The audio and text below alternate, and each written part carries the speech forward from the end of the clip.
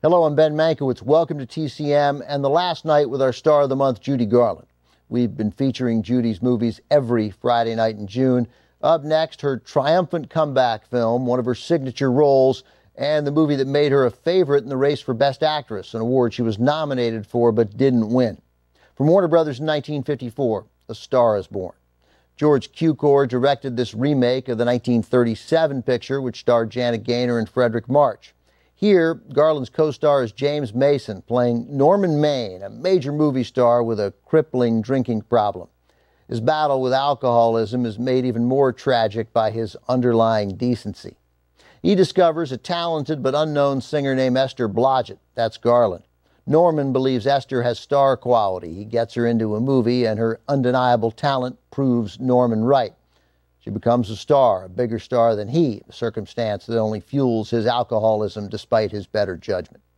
Judy Garland was only 14 years old when the original 1937 version of A Star is Born hit theaters, the one with Janet Gaynor and Fredric March, though Garland was already a contract player at MGM at the time. It wasn't long before she played that lead role. Garland starred opposite Walter Pidgeon in a 1942 radio adaptation of A Star is Born.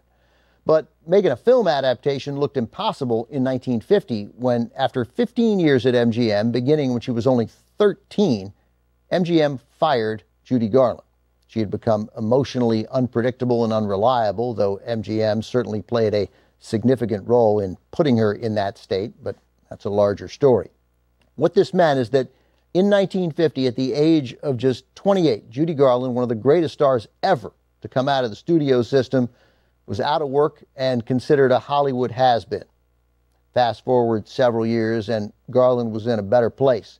And she wanted this remake of A Star is Born to be her screen comeback with her husband, Sid Luft, producing.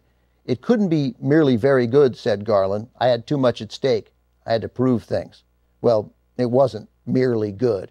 It was thrilling and tragic and intense and brilliant, as was Judy Garland. The film opened to rave reviews and immediate Oscar buzz. However, before the picture opened nationwide, Warner Brothers studio chief Jack Warner felt it was too long and had several scenes deleted, including two numbers with Judy. In the 1980s, author and film preservationist Ron Haver tried to locate the long lost missing footage to include in a restoration. He found the two missing numbers, Here's What I'm Here For, and Lose That Long Face, as well as the original film's entire audio track. In the few scenes where the film footage couldn't be located, you'll see production photos to cover the audio track. From 1954, directed by George Cukor, also with Charles Bickford and Jack Carson, here are James Mason and Judy Garland in A Star is Born. Like Janet Gaynor and Fredric March in the original 1937 version, both Judy Garland and James Mason were Oscar nominees for their performances in A Star is Born.